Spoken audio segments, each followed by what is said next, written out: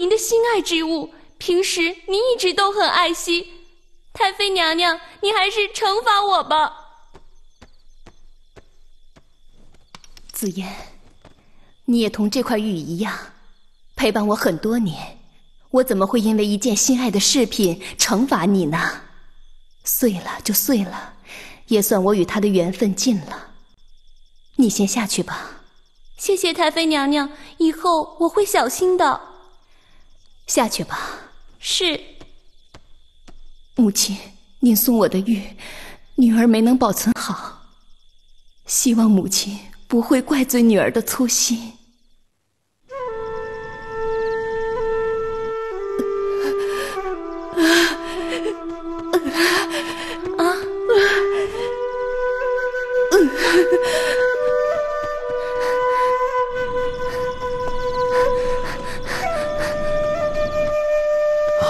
后娘娘，太妃，太妃娘娘病了，您快去看看吧。啊，怎么回事？太妃，太妃娘娘忽然肚子疼，满头大汗。快传太医。是。快去看看。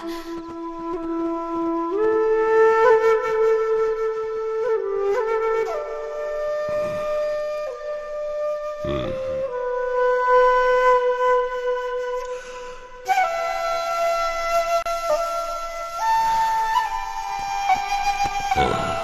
太医，您看太妃的病无大碍吧？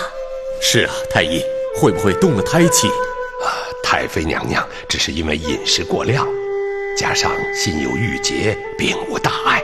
开些消化止痛顺气的药服了便好。今后饮食方面应有所节制，如饮食失节、饥饱无度，皆可使脾胃运化失常，而胎失所养。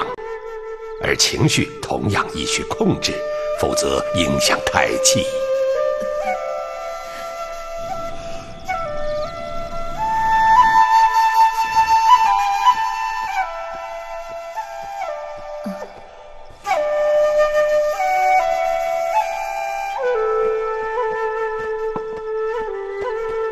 母后，太妃娘娘，太医说了。您只要服了药，就会好起来的。如果不是我一时贪嘴和不够宽容，就不会影响腹中胎儿的健康，还让母后和大王跟着担忧。太妃不要再说话了，只是一场虚惊，今后注意便好。你好好歇着，有事等你好了以后再说。嗯，我们也各自回房歇着吧，让他好好休息。好的。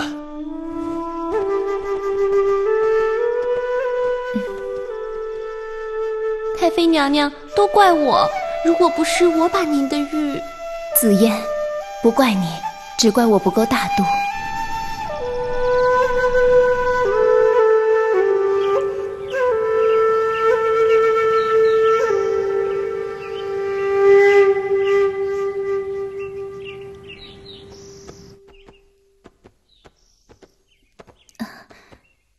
啊，紫嫣，扶我起来。别起来，身体还虚着。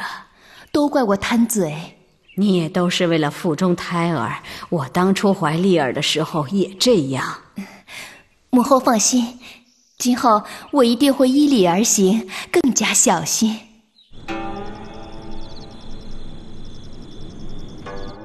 行宜稳，坐宜静，言宜轻，卧宜正。礼官，四字谏言怎讲？人的外表都表现在这个上了，坐卧行言，而人的素质也体现在这四种形态上：稳则不躁，静则不闹，轻则不扰，正则不邪，王者之相呢。嗯，懂了，谢谢李官。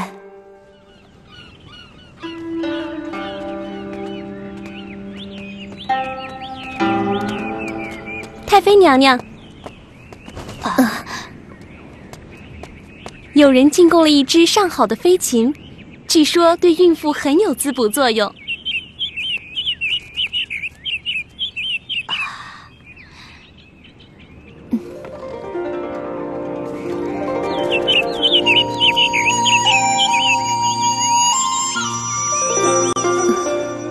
今后凡是飞禽走兽，均不得宰杀。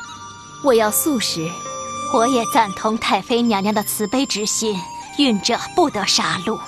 我，鸟儿也是极美的生命，我们有相遇之缘。我已经欣赏过它的美了，这只是换了一种获得的方式而已。啊啊！紫嫣，啊，快扶我进房。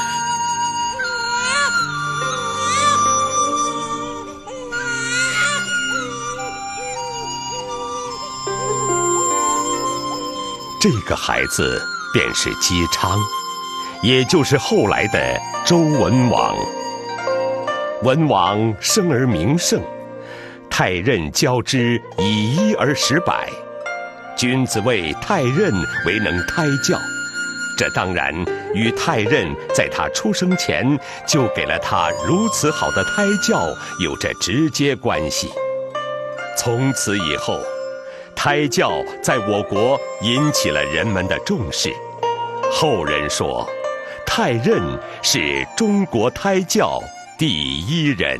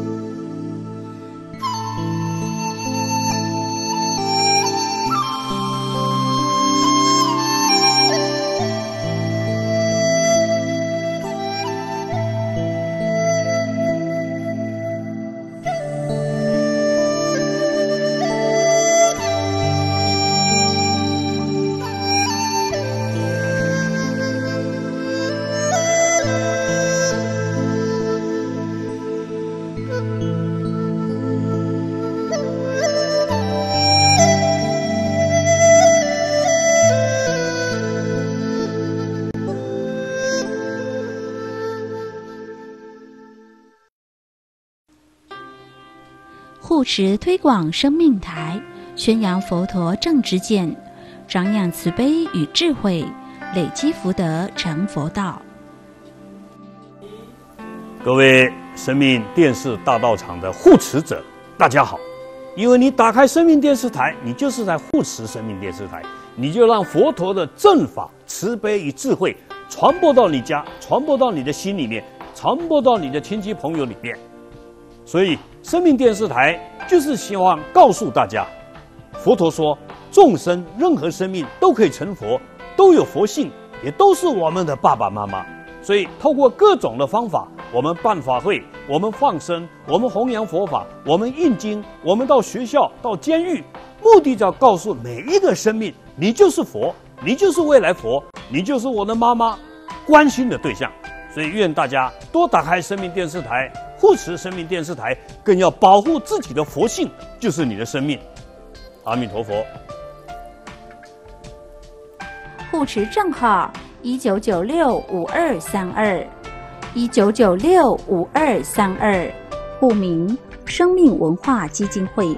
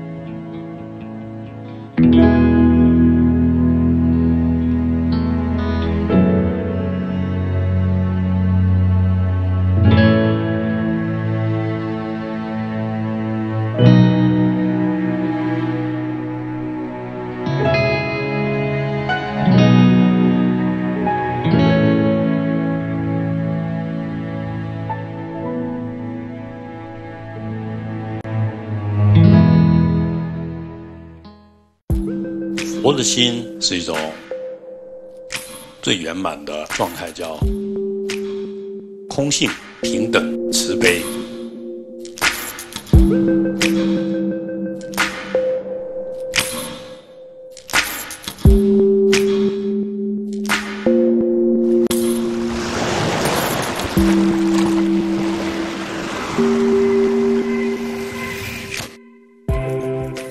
佛的心是一种最圆满的状态，叫空性、平等、慈悲。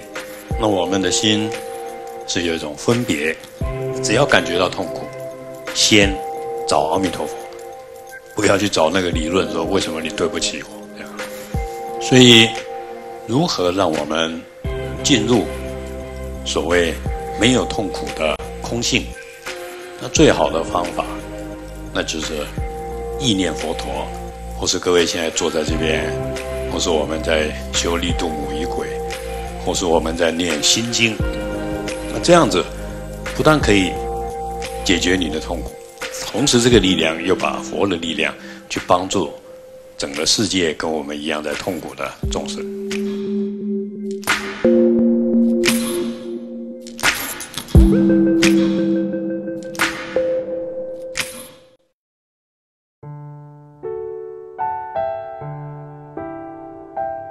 护持功德殊胜行，无边胜福皆回向，普愿沉溺诸众生，速往无量光佛刹，十方三世一切佛，一切菩萨摩诃萨，摩诃般若波罗蜜。